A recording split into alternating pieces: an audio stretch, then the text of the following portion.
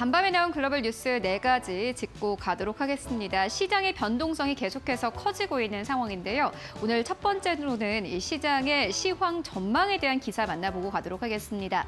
모건 스탠리의 CIO가 CNBC의 스코어크 박스에 출연을 했습니다. 시장에 대한 여러 가지 이야기를 내놓았는데요. 먼저 첫 번째로는 이 모건 스탠리의 CIO는 이번 해 연말까지 S&P 500 지수가 4,400선에 도달하게 될 것이다라는 투자 의견을 제시했습니다.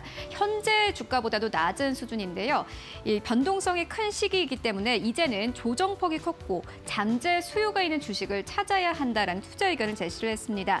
조정을 받거나 잠재적으로 억눌린 수요가 있는 영역을 찾아야 한다라는 투자 의견을 제시를 했는데요.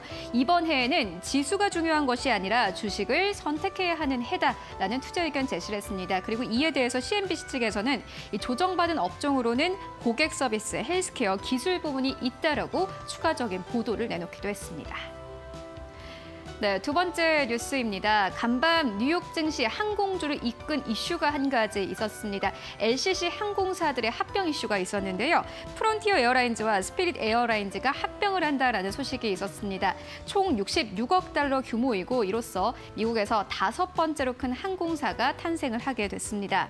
예, 합병된 항공사의 51.5%는 프론티어 에어라인즈에서 가져가게 되고요. 48.5%는 스피릿 에어라인즈가 가져가게 됩니다. 앞으로 19 19개국에 매일 1000편 이상의 항공편을 제공할 것이다라는 소식을 밝혔고요. 이와 함께 스피릿 에어라인즈는 간밤 증시에서 16%가 넘게 뛰면서 거래를 마감했습니다.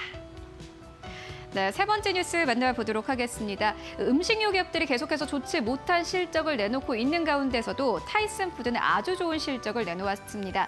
오히려 인플레이션의 수혜를 받게 된 셈인데요. 이 육류 가격이 올라가면서 이 마찬가지로 마진이 함께 올라간 상황입니다.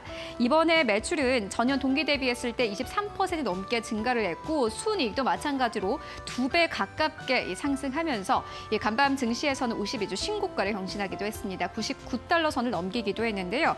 현재 미국 노동력 부족으로 생산이 제한되고 있고 이에 따라서 육류 가격의 상승세를 보이고 있는 상황입니다. 타이슨 푸드의 CEO는 직접 나와서 곡물 가격은 계속해서 상승세를 지속할 것이다라는 투자 의견을 제시를 하기도 했는데요. 계속해서 육류 가격과 곡물 가격이 올라간다라는 점 함께 투자 포인트로 삼아 보시면 좋을 것 같습니다. 네, 마지막 뉴스 만나보도록 하겠습니다. 간밤에 니드홈 측에서 넷플릭스에 대한 다소 부정적인 전망을 내놓았습니다. 넷플릭스의 변화가 필요하다라는 투자 의견이었는데요. 넷플릭스는 올해 주가가 31%가 넘게 내렸습니다.